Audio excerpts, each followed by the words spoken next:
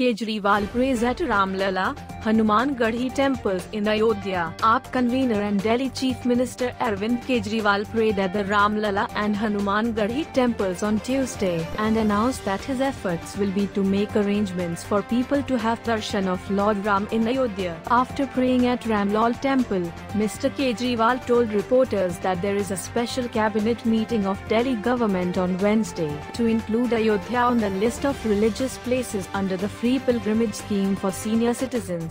He said, Today I got the privilege of having darshan of Lord Ram.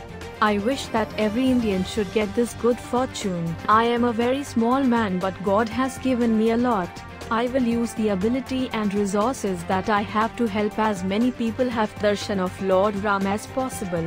Several AAP leaders including Rajya Sabha member Sanjay Singh accompanied Mr. Kejriwal to Ramlalla and Hanuman Garhi temples.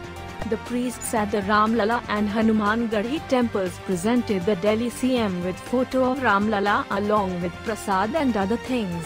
Mr. Kejriwal is on a two-day visit to Ayodhya.